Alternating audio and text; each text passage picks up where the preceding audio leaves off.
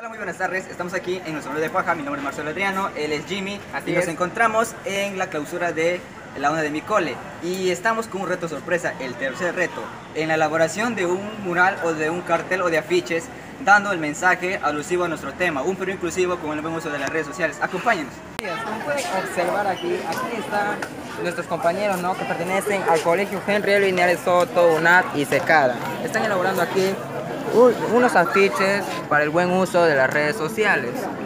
Por acá tenemos ya el afiche está siendo terminado que dice si a tu familia quieres proteger un buen uso de las redes sociales debes hacer. Bueno, yo la completé la, fra- la frase y ya le están terminando.